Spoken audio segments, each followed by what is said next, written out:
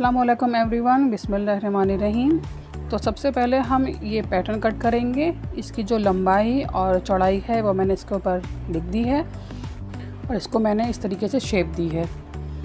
और इसका जो दूसरा हिस्सा है, वो मैंने इस तरीके से कट कर लिया है। तो इसकी जो चौड़ाई है, वो है नाइन सेंटीमीटर अब हम लेंगे फॉर्मिलाइन शीट इसको मैं हमेशा अपने बैग में यूज़ करती हूँ, मैं इसी से हमेशा बैग बनाती हूँ। तो इससे जो है, वो आजकल पाइचे वगैरह बनाए जा रहे हैं तो इससे आपको अच्छे से समझ में आएगा। जो हम पाइचों में लगा रहे हैं शीट ये वही शीट है। तो इसको जो है, वो हम कपड़े के बीच में रखेंगे, ऊपर और नीचे कपड़ा रखेंगे और बीच में फॉर्मिलाइन शीट रखेंगे। तो रखने के बाद इसके ऊपर हमें इस तरह से स्क्वायर बनाने हैं, इस तरीके से। तो पहले जो है, वो हम इसके ऊपर स्केल से निशान लगा लेंगे और फिर इसके ऊपर हम सिलाई लगाएँगे। तो ये इस तरीके से जो है वो रेडी हो जाएगा।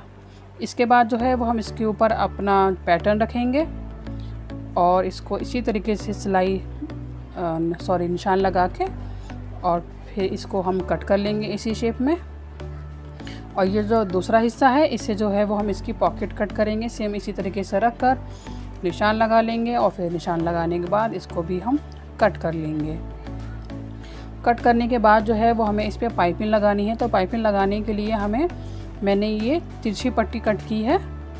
तो इसको जो है वो हम इसके ऊपर रखेंगे, इस तरीके से, और एक सिलाई लगा लेंगे यहाँ से यहाँ तक। और फिर सिलाई लगाने के बाद इसको हम इस तरीके से मोड़ कर यहाँ पर हम तुरपाई कर लेंगे। और तुरपाई तो वैसे जो है वो सिंगल धागे से होती है, लेकिन यहाँ पे जो है वो हम डबल धागा यूज़ करेंगे। और इतना करने के बाद हम इसके ऊपर इसको रखेंगे और यहाँ से यहाँ तक एक सिलाई लगा लेंगे। तो सिलाई मैंने लगा ली है और सिलाई लगाने के बाद हमें जो है वो फिर से इस पर पाइपिंग लगानी है।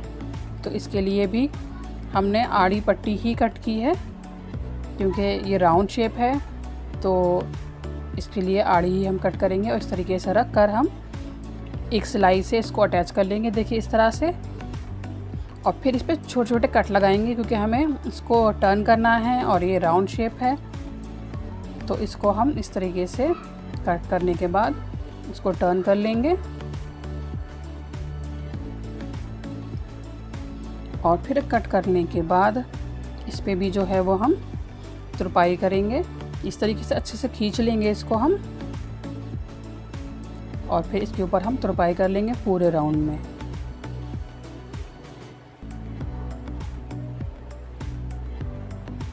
और देखिए फॉर्म्यूरन शीट यूज़ की है ना तो इसकी वजह से कितनी फिनिशिंग आती है इस पर मैं तो हमेशा इसको बैग में यूज़ करती हूँ। बहुत ही फिनिशिंग आती है और बहुत ही खूबसूरत बैग बनते हैं, बहुत ही प्यारे। इसको हैंडल करना भी आसान होता है। इसके बाद जो है वो ये टिच बटन है। तो ये मैं इसके ऊपर ठोक लूँगी। ठोकने वाले हैं। आप चाहें तो मार्केट से ठुकवा लें या जो आप हाथ से लगाते हैं, वो भी हम इस पर लगा सकते हैं। तो ये बैग हमारा बिल्कुल रेडी है। Thank you for watching